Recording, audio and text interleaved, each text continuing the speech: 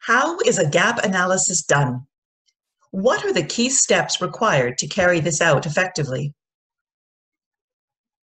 First, a best practice is selected against which the organization wants to establish its current level of maturity. Best practices such as ISO 55000 for asset management and ISO 31000 for risk management. The gaps are typically calculated by individual departments and then averaged up to the corporate level. In a workshop setting, a series of questions are presented to a cross-section of internal stakeholders. For each question, they rate their department's performance relative to a selected best practice.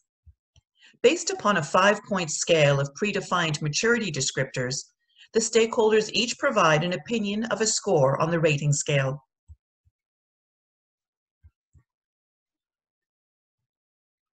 The average score is used to determine the maturity rating for the question being considered.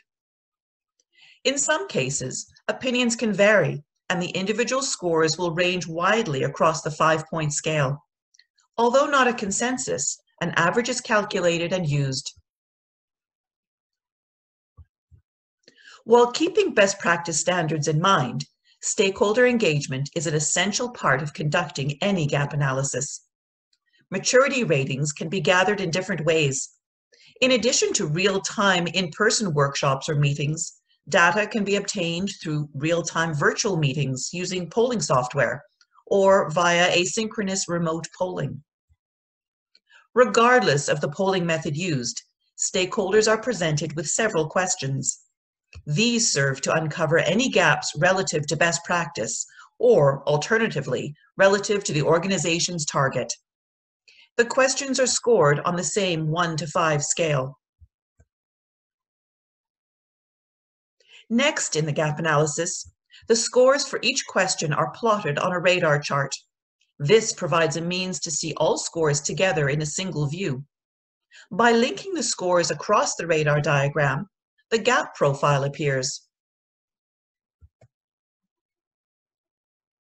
The shape of the profile may vary by department or the shape might, may vary at different points in time. The size of each gap is estimated based on the variance between the current score relative to the organization's target score. This collection of gaps reveals the overall gap profile.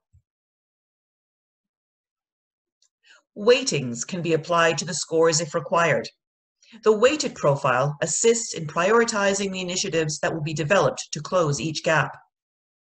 The gap analysis culminates in an overall organization score, which is derived from the individual department scores, and these, in turn, are derived from the many attribute scores measured against the best practices.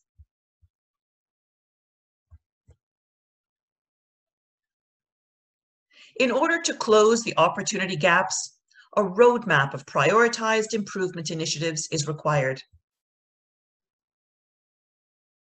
And the gap analysis has now provided the organization with the contours of the journey ahead.